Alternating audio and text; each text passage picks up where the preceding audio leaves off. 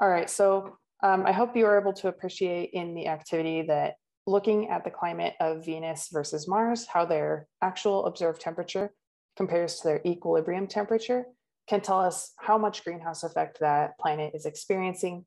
And as you saw from the table with their atmospheric compositions and the total amount of atmosphere, both of those contribute to the overall greenhouse effect that those planets experience. So um, the greenhouse effect, just as an overview, um, greenhouse gases are gases that tend to absorb infrared light really well. So when infrared light tries to leave a planet, the greenhouse gases absorb it instead. And lots of different gases can act as greenhouse gases, um, carbon monoxide, carbon dioxide, methane, water vapor, nitrogen dioxide, and ozone can all act as greenhouse gases. Um, oxygen gas and nitrogen gas do not.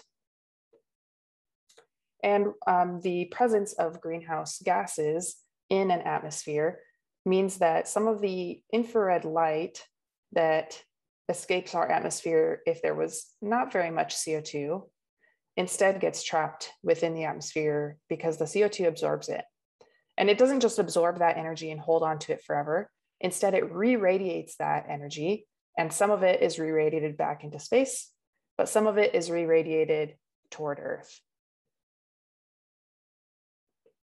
So now our complete picture of the energy budget needs to include this effect, the amount of radiation in the infrared trapped in our atmosphere. So now we have the sunlight hitting Earth minus the reflected sunlight, which you can figure out from a planet's albedo, has to be equal to the infrared light that's radiated by Earth minus the amount that gets trapped in the atmosphere. This is still a little bit of a simplified picture of the energy budget. The actual picture has a lot more flows of energy. Um, and if you're curious, I can point you to a good resource. All right, so the amount of IR radiation that gets trapped is directly related to the concentration of greenhouse gases in the atmosphere. So um, in this energy balance, the temperature, the equilibrium temperature of a planet is driven by how much total energy there is flowing. So if there's more energy in than out, the temperature will increase, causing more energy to be lost by emitted infrared light. And the temperature increase will continue until the energy out equals the energy in.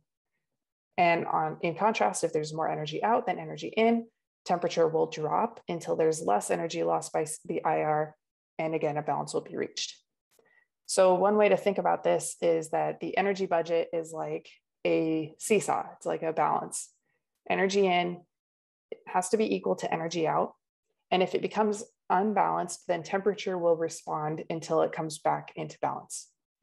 So for example, if the sun suddenly got way brighter and there were more sunlight hitting Earth, then the situation would be unbalanced. We'd have more energy in than energy out.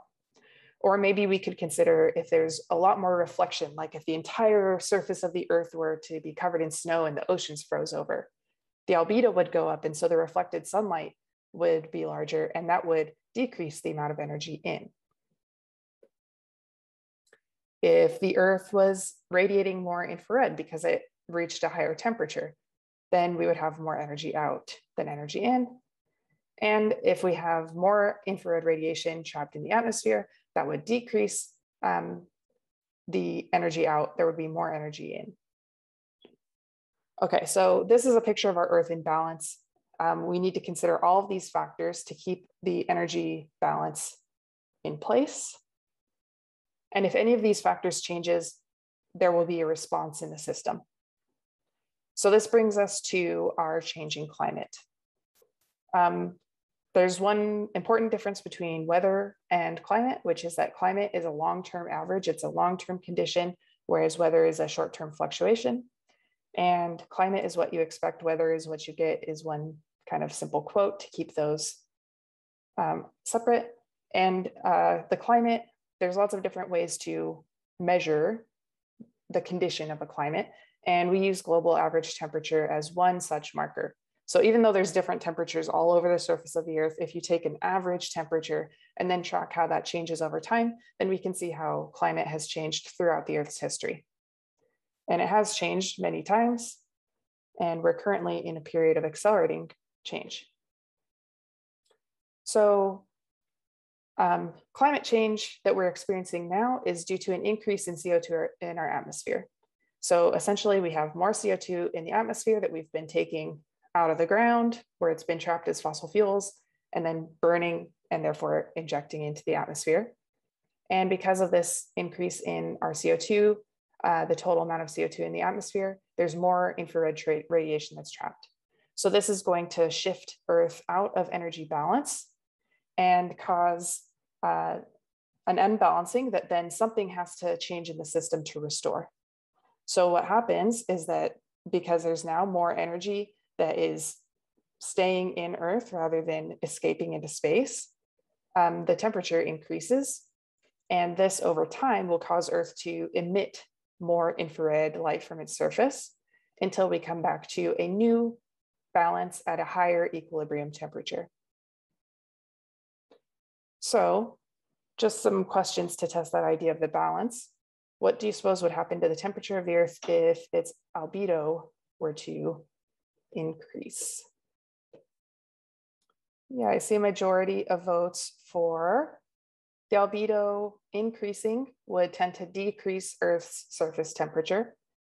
And this can be understood using, again, our energy balance equation. If our albedo, albedo goes up, meaning we're more reflective, then the amount of reflected sunlight would increase. And so that means that the temperature would decrease and the infrared light radiated by Earth would decrease in turn. All right, so if we had a larger albedo, um, we could unbalance the energy budget and then the amount of infrared rated, light rated by Earth would decrease and we would reach a new lower equilibrium temperature. So there's lots of ways that these elements in the system can change. Let's think about this one. What happens if a higher energy flux of energy from the sun hits the earth? Like if we suddenly moved closer from to the sun, what would happen? And I am seeing unanimous votes for it would get hotter if the earth moved closer to the sun. Yes, exactly. So if the earth received more sun, sunlight, this could happen if we move closer or if the sun got a lot brighter. Um, then in that case, the sunlight hitting Earth would increase, and therefore on the other side of the equation, the temperature would increase, and so would the light radiated by Earth. So in this case, a higher sunlight in would unbalance us until our temperature increased and more infrared light would then be radiated until we reached equilibrium again. All right, so I think we've talked about all three of these levers. So notice that in all cases, if the Earth's energy input and output is unbalanced, the temperature is what changes until we drive uh, the situation back to balance.